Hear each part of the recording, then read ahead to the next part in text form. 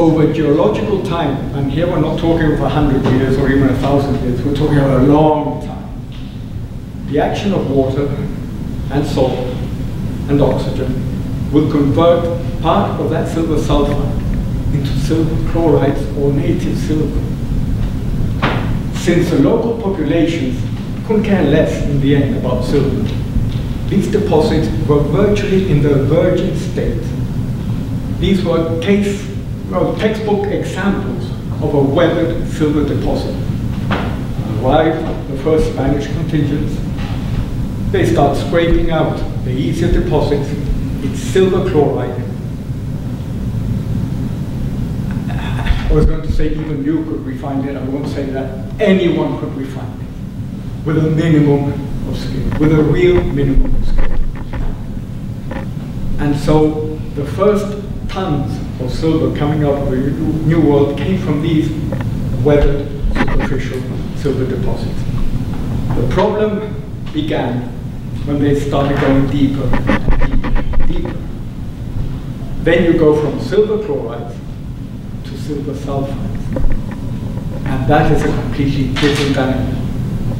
If you want to smelt the silver sulfide, you have to get a furnace, go up to 1000 degrees centigrade. You have to know what you're doing. If you don't know what you're doing, you won't get any silver out. And that's when they started complaining. The silver content is going down. And I had a strong suspicion it wasn't the silver content that was going down. It was simply the nature of the silver compound was changing dramatically, and they didn't know what was happening. very quickly. Um, smelting, and I, I, thank God Michael touched on this. No, because people don't like to work at high temperatures. And I, even I, as a student, I hated that. I, the dry laboratory is one that you tended to say, no way. You know, you get burnt, uh, you, things happen. Um, you're working at a thousand degrees centigrade. Uh, forget your ovens at home. I mean, that's really high To smelt silver, it's a, it's a two-step operation under completely different uh, chemical, uh, physical conditions. the first one, you have to make sure that the silver ore mixes with the charcoal of the fuel that you're using. There has to be a mix because the carbon participates. And the silver in the silver rich, galena, galena, galena, whatever, uh, will be abstracted by the liquid lead.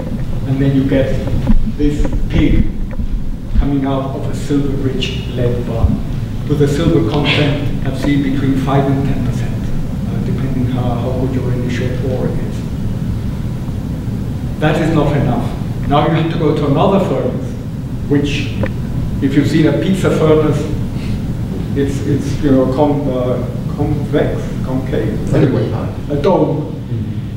The fuel cannot mix, in this case, with the ore that you're trying to, to refine. You have to keep them separate, so the heat has to be directed to reflect from the roof onto the pig.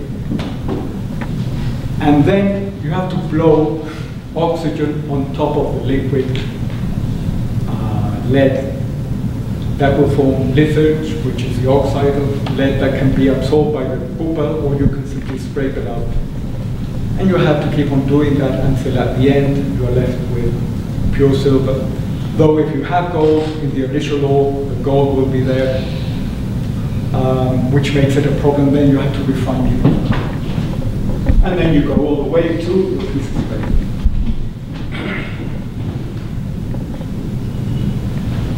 you go to amalgamation, and I won't go through all the steps, um, you suddenly don't have to work at a thousand degrees centigrade. You know, you can work on a patio, on a courtyard, an open courtyard. There's no heat involved. They can be, but not necessarily. So it's no wonder that the early refiners, when offered this other route that didn't involve such a complicated uh, high temperature operation, they loved it. Um, this was, you know, an answer to their prayer because it also managed to extract silver from that horrible stuff coming from the deeper part of the mine. When we go tomorrow or on Friday, uh, it struck me that all the, here in the States in Nevada, uh, the refining units, they're called mills. They're not called uh, silver refining factories or whatever, it's, it's a mill, right? The, the so-and-so mill and the so-and-so mill. I think this is a reflection of the fact that in amalgamation, believe it or not, the crucial step was the milling. You needed to arrive at the consistency of a flour. I mean, really, really fine, or else there would be no way that the mercury would interact uh, with the compound, with the silver compound. Not only that, I am of an age where I remember breaking thermometers simply to get the mercury to run across the floor. If anyone's done that, know, it splits into tiny, tiny droplets. Thank God it splits into tiny, tiny droplets. Mercury is so dense that if you throw a hammer, the hammer will float on mercury. Uh, iron will float on mercury. So if mercury, when you dropped it into the amalgamation slurry, had remained a single big mass, it would have gone straight to the bottom, and that's it. There would have been no reaction. It's the fact that mercury can split into these tiny, tiny spheres that made all this process possible. The other message I want to give is that the recipe for amalgamating silver sulfide, silver sulfides was um, finalized, polished, and made permanent around the year 1580 in the high Andes by a bunch of refiners who simply went on their intuition. They had no theory to guide them. And they took a very simple, very primitive gold amalgamation recipe and suddenly made it work on silver sulfide. Because if you only take the primitive gold amalgamation recipe, it won't extract anything out of a silver sulfide. So this was the critical crucial step. You will go into shock with this one, but I'll be quick. There is no worse mistake being made in the historiography up to now than to think that the amalgamation of ore has anything to do with the amalgamation of silver ore. We are talking of something of two completely different things. The only thing they have in common is the word amalgamation. In a silver ore, you're looking at a sequence of chemical reactions taking place. And in this, the Germans were totally right at the end of the 18th century. The metallurgists in Germany were saying, I don't know what these Spaniards are talking about. Amalgamating silver ores. Mercury doesn't amalgamate a silver compound. And they're totally right. Mercury only amalgamates silver metal, pure silver. So during the process, you have to make sure that all the silver compounds that are in the ore are converted into silver. And that is when mercury will come along and grab it. If you cannot guarantee that, the silver compound will stay in the ore, mercury will go on its way. Luckily, again, mercury does the two jobs up to a point at the same time it intervenes as a reagent so that when you have silver chloride together with mercury will form calomel and you will get metallic silver. And then another uh, blob of mercury around will take the silver and amalgamate it. But you've got two different steps. If you add iron, iron will bring down the mercury consumption because iron will also convert the silver chloride into silver metal, which then amalgamates. And the beauty of the final recipe of that 16th century is that if you add copper uh, in the form of a salt, the copper will take directly the silver sulfide, go all the way to silver, and then mercury takes it on. But if I were to show you a similar diagram for the case of amalgamating gold, there'd be nothing there. It would be the shape of the ore, gold stuck in the middle, mercury will come along, take it away. Nothing like this happens gold. So any comparison that you read about, or any reference that tries to tie what's happening with silver amalgamation and gold, has nothing to do with it. Okay, uh, now I'm getting to the second part. This I derived from tax data, so um, there is a chance I may not have it completely right, but at least I've shown uh, in my work how I did it, so someone can come along and polish it if necessary. From an empirical point of view, the message is clear. In New Spain, a refiner could refine using amalgamation, he could refine using smelting, he would still make a profit because these are private individuals. If they're not making a profit, they're not going to produce one single gram of silver.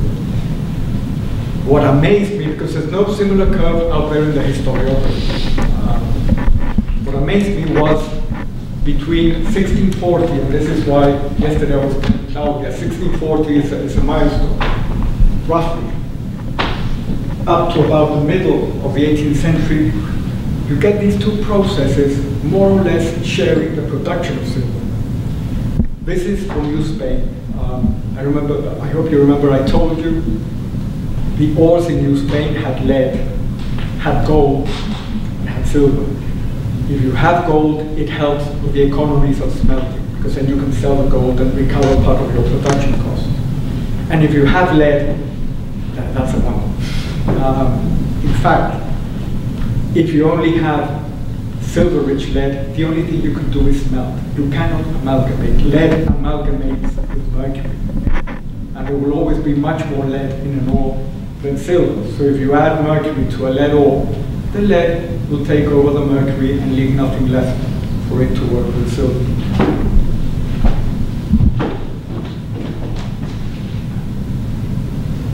This is what I repeat here. Um, if you were a miner and you came upon a lead, a silver-rich uh, lead deposit, you either smelted efficiently or you packed up and went away. And that was it. There, there was no middle ground. If you came across a silver sulfide, which would be uh, most probable, you would tend to go to mercury first because it's much easier uh, for, for the workforce of a process to, to go ahead if you have the mercury. During those years when mercury wasn't available or the supply became quite constrained from Spain, it may be that some uh, switched to smelting if they had access to lead and to fuel, to charcoal. Charcoal, for every kilogram of silver smelted, you need one ton of charcoal. It's a thousand to one ratio. It's a horrible ratio. It's one of the highest I have seen.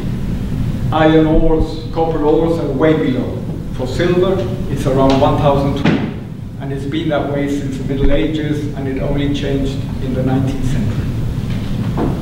So if you didn't have fuel, that was a big problem.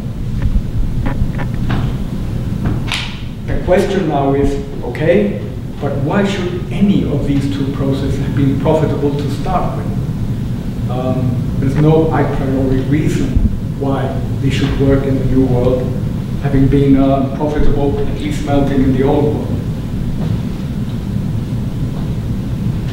For colonial times, there is a horrible absence of hard data on production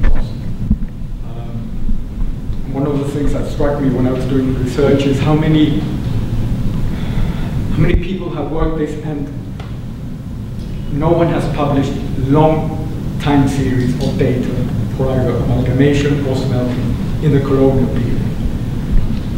So I had nowhere to turn to because if you go through the archives, uh, at least superficially, the documents are not there. You can find nuggets of information, indirect clues, but there's no timeline of events that you can follow and, and put that data into a, a, a, production cost basis. So I went to the 19th century, where I found that the Hacienda de Regla on the outskirts, outskirts of Pachuca, a gold mine of data. I mean, this was 10 to 15 years of accounting data by month, um, telling me how much they were bringing into inventory, how much they were using, what it cost them, how much they were losing. Incredible. Um, and so from there, this represents roughly 100 or more monthly collections of data. So this is not a one-off average. Uh, this is the average over 10 to 15 years. And the first surprise is, hey, mercury is not what determines the cost of production in amalgamation, which is something you may read about. It's the cost of the. There's an old Mexican saying, um, Claudia will correct me, más vale el caldo que albóndigas. uh, the broth turns out to be more expensive than the meatballs it contains. That's, that's the uh, what this is saying is, when you've got ores with about 0.2% silver, 0.3% silver, you have to process roughly 1,000 kilograms of useless mineral ore to get at the one kilogram of silver. And that is virtually a fixed variable operational cost. And there will come a time when whatever you get out of silver may not be enough to cover that operational cost. So fuel, and that's the other message from this, fuel is not irrelevant, but virtually irrelevant in, in amalgamation, the way it was practiced in Regla. And uh, David Sinclair got, got the message very well. All this data is site, location, and time specific. There are no generalizations in this. That would be the most dangerous thing to do. So this applies to Regla. Okay, to go into colonial times, what I did was these are real figures, okay, from the accounting books, the following grade. And then I simply project. Um, some of these costs will not vary according to the silver content, some will. Because again, one of the most dangerous things to do is to compare amalgamation and smelting without specifying what's the silver content of the ore that I want to compare according to these two processes you cannot do a blanket comparison saying amalgamation is better or smell. No, it depends on the silver content of the ore. So you need a function. You need a function of cost versus silver content. And that is why I, what I ended up with. This is the value from the accounts, and all these are projected values. Um, where you can see how uh, the whole profile changes. I did the same with smelting. Here I would only point to the fact that in smelting, it is not the cost of the ore that dominates, it is the cost of fuel. Charcoal made up nearly a third of uh, production cost. I did the same, I will not spend too much on that. And I'm nearly finished, this one, one more. Um, then I did what you shouldn't do. And uh, I don't want to confuse you. For some ores, uh, silver-rich lead ores, you cannot superimpose the two curves on a single graph because you cannot amalgamate. Okay, you can only smelt. So either that makes sense on its own, or you shut up your operation. The only cases where you could compare is if you have silver sulfides. Because then you may have a choice, okay, do I go this way or do I go that way? Um, so please keep that in mind.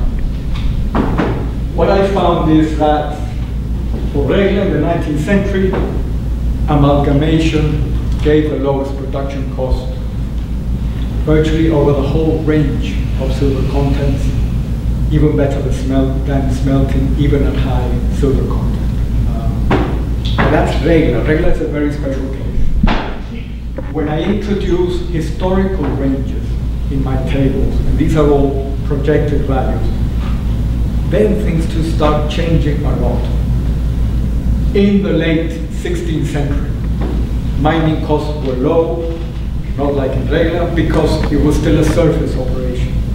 Fuel costs were low because the woods had still not been decimated. So they had charcoal relatively close by and at an acceptable cost, etc., etc., etc. For each period, circumstances change, and you can see that the relative positioning of each refining process changes.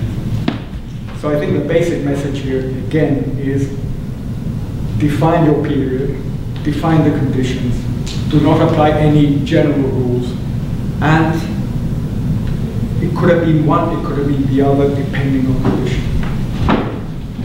So, I get to the end.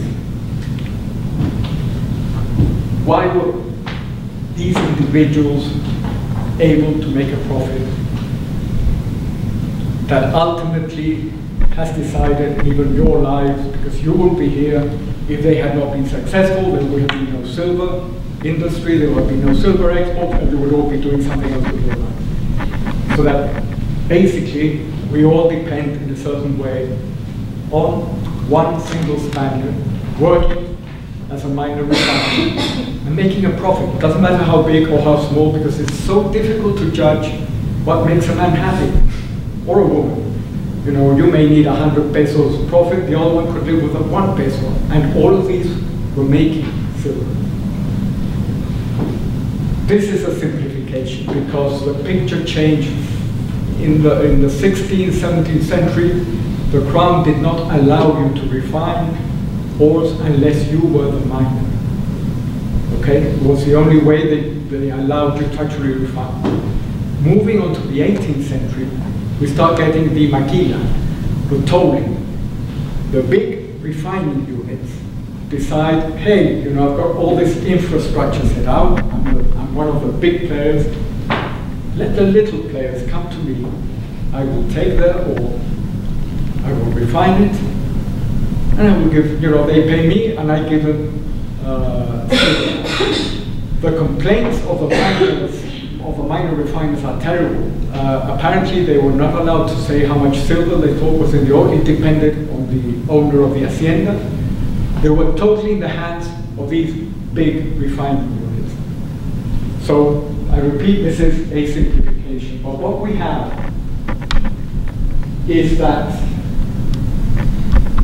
for conditions such as Regla, and Regla, uh, let me uh, restate again, was using ores with around 0.2% silver, which is more or less the average, by the way, for silver sulfide ores in New Spain, roughly. And a little bit less than 2% for the uh, silver-rich lead ores. They had free energy. Free energy is worth its weight in gold. Haciendas had had to use mules. They had to buy grain to feed the mules. And if the grain prices went up, and you see it in the literature, in the, in the primary literature, they simply had to close down at times because they couldn't pay uh, for the grain. So having free water to drive the mills, to drive everything, that, that in the case of Regla was, was worth a huge amount.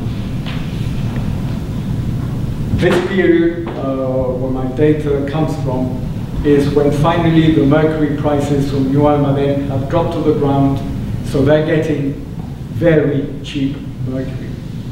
The English investors of the first half of the 19th century at Regla, they were hit with all the uh, maneuvers uh, around the mercury from Almaden. And part of their losses came from having to pay three to four times what these people had to pay for mercury. Fast turnaround in patio. I am amazed looking at the accounting books.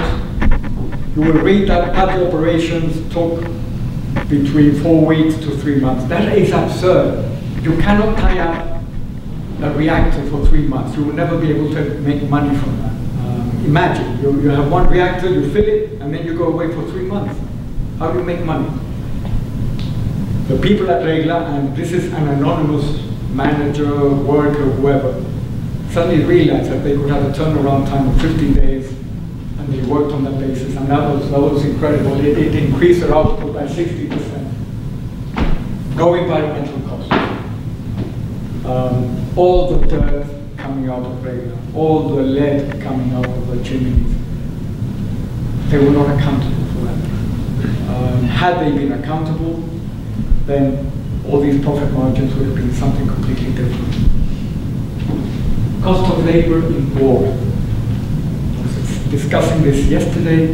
Remember under the Spanish uh, that, that went on into the Republic of Mexico, a mine worker was paid, but he was also allowed to take home uh, how much, as much silver ore that he could find within a certain time frame. How do you quantify that regarding labor costs? And then they resold that to the mine owner or to the refiner. So labor costs, in the case of New Spain, it, it's not an easy uh, thing to quantify. And finally, zero cost of technology. This is why yesterday I was asking about the cyanide process because I believe that when it was implemented, there were royalties paid by people in Mexico. In this case, the process was theirs, the equipment was theirs. We will see some of that equipment uh, when we go to Nevada, the arrastras, that's Mexican, that's a Mexican invention. Uh, the Chilean mill, I don't know why they call it Chilean, but that was one way of milling uh, that came from Mexico. A lot of things that came to the US free of charge, patent cost nothing, for them also the zero technology cost. So it looks good. I mean, this as a gross operating margin doesn't look bad, this looks even better. Um, when silver pricing started to go downhill in the 19th century, two things could have happened. Local costs, which is basically the black solid line, could have jumped up due to inflation. It didn't. Uh, local costs from the data I have for Regla were like Teflon, you know, they were not being affected at all by, by this dip in silver pricing. However, if instead of one kilogram being bought at 38 pesos, it will now be bought at what? Uh, you know, if, if it halved in value, then the slope of this curve would come down and then you will get very close. This doesn't include, you know, whatever taxes, all the costs. But rather than impact the more horizontal line, it would have impacted the slope of content in silver that you're extracting from the ore. And maybe because I don't have the economics in my hand, maybe this was another reason why cyanide was introduced because maybe cyanide would have still given them a good margin of profit, even if the price of silver was coming down to half its value in the international markets. That's it. I'm finished.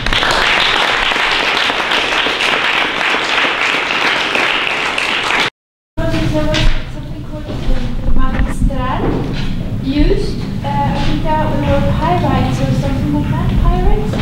Uh, iron, iron, iron oxide or. Go, go, go. Sorry, Uh, excuse my English. No, no. yeah, uh, so uh, and, and that helped um, extract the silver with, with much use. Did, did that paper No, it's, it's, that's another fascinating story. Amalgamation derives directly from alchemy. Uh, and the, the terms and lore of amalgamation is alchemical alchemy, I mean, to its core. Magistral, if you read alchemical books, magistral was simply a magic powder that you added to induce the transmutation of a base metal into gold or silver. That's a magistral. The magisterio was the art of alchemy in Spanish. So we had the magisterio and the magistral. I, I should have mentioned it. When I mentioned copper sulfate, that's magistral. If you look at copper sulfate, I used to do this in the lab when I was young, and I promise I wasn't smoking.